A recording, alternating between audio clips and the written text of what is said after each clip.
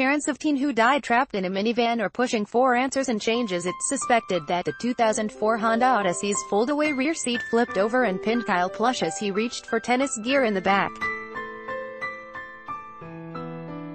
Cincinnati, AP, the parents of a 16-year-old boy who died trapped in a minivan parked near his school made clear Tuesday they will be relentless in pushing for answers and changes to Cincinnati's emergency response system, saying it would be inexcusable not to take action to keep another family from facing a tragedy like theirs. Ron Plush, his wife Jill beside him, said he hadn't wanted to listen to their son Kyle's 2911 calls pleading for help. At one point Kyle warns, I'm going to die here, but he did before Tuesday morning's city council committee meeting because of conflicting and incomplete information about them. Ron Plush found his son dead in their minivan nearly six hours after the boy's first call. Ad choice advertising inRead invented by Teads advertisement. As you can imagine, it was very difficult, he told city officials as he made a PowerPoint presentation about his own review of the events of April 10. Among other things, he recently drove around the Seven Hills School area where Kyle's minivan was parked at the same time of day two Cincinnati police officers had driven there in response to the first 911 call.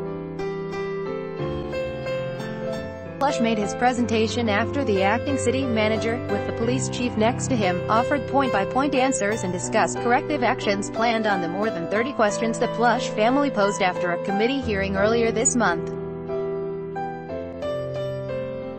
Plush called the answers a great start, then raised more questions about procedural and equipment issues and a seeming lack of urgency in responses to a caller who said he was dying and described his vehicle and general location.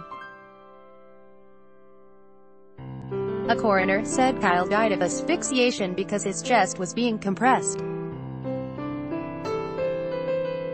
It's suspected that the 2004 Honda Odyssey's foldaway rear seat flipped over and pinned him as he reached for tennis gear in the back.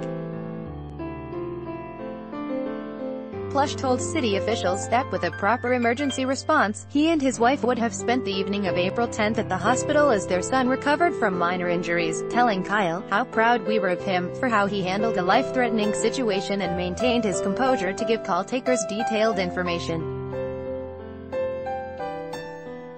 Advertisement What actually happened? That evening I drove to the school and found Kyle. Two days later, my family was planning Kyle's visitation, funeral and burial, Plush said. This can't happen to another family. We need to continue to identify all the failures that day and work towards solutions, Plush has said Kyle is giving them the strength to get that done.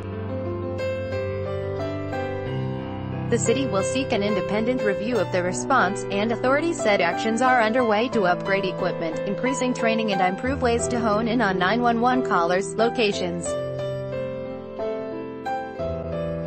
Mayor John Cranley said he wanted to make clear parts of the response were just wrong. He said a 911 recording from Kyle should have been replayed with the volume turned up. The fire department should have been dispatched to help the search and rescue, and that the two police officers should have gotten out of their cruiser to search vans in the area.